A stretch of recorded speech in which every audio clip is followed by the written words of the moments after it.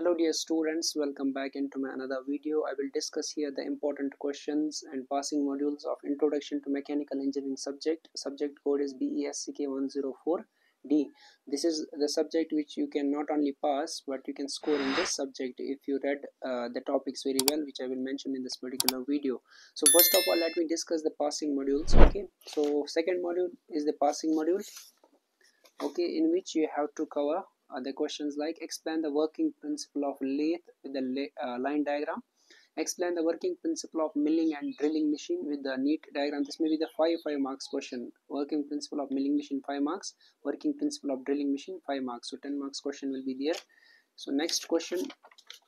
With the neat sketch explain uh, boring reaming drilling and end milling and plan milling Next, discuss the various components of CNC with neat diagram, list the advantage and applications of CNC and write a short note on 3D printing. So dear friends, try to make the diagrams first in your answer book booklet. I am continuously emphasizing on this thing that you should draw first the diagrams in the answer booklet. Okay first 5 to 8 pages should be neat and this is the diagrammatic subject. So that is the advantage for the students right?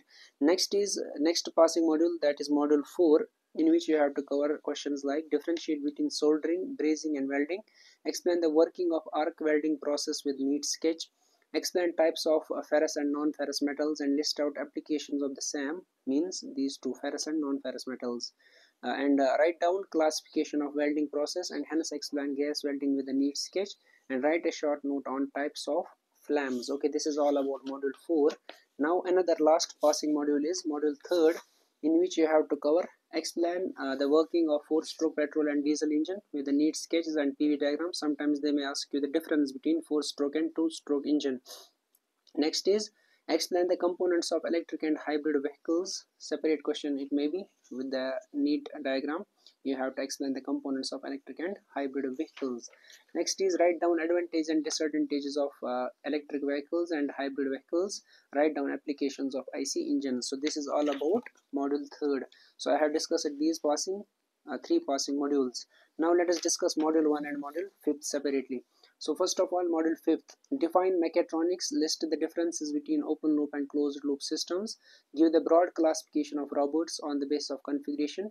So next is uh, define automation and hence explain types of automation in detail.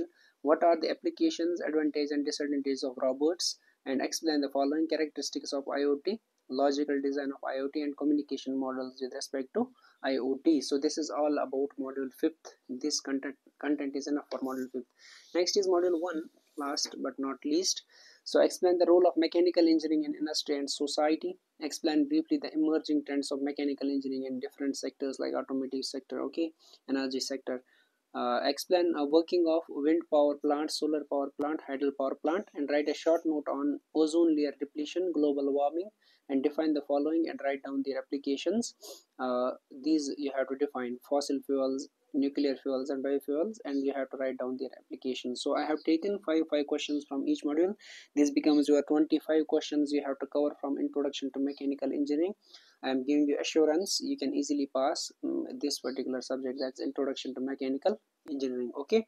So i believe you will cover this much content within two days so that you can pass the subject you can conquer the subject with the flying colors.